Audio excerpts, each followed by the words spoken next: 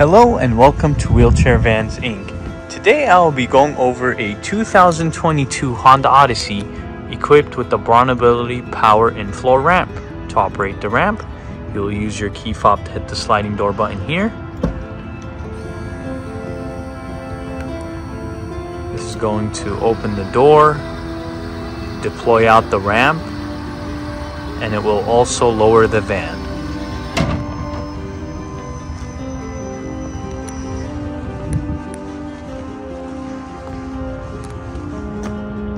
Let's head inside and check out the setup.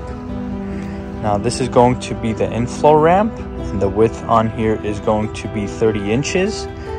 Entrance height from the floor to the top of the door is going to be 54 inches. In the middle, you will have the wheelchair user. Going on to the back, you'll have the bench seat that will fit three people. And in the front, you'll have driver and passenger front removable seats. And this is an EXL so you'll have key features such as the push to start the leather heated seats and the moonroof. To bring the ramp back in you will use your key fob once again to hit the sliding door button like so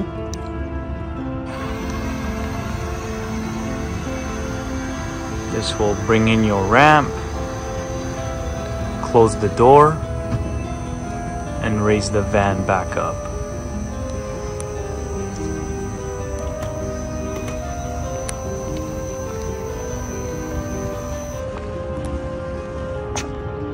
Last but not least, let's check out the rear hatch. Now this one here is going to have the automatic lift gate.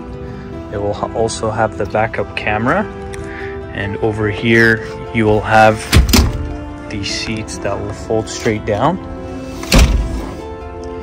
And on the bottom you have room for the spare tire.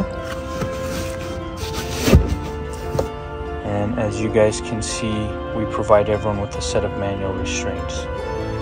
If you guys have any additional questions please feel free to reach out to our sales team at 949 664 1146 thank you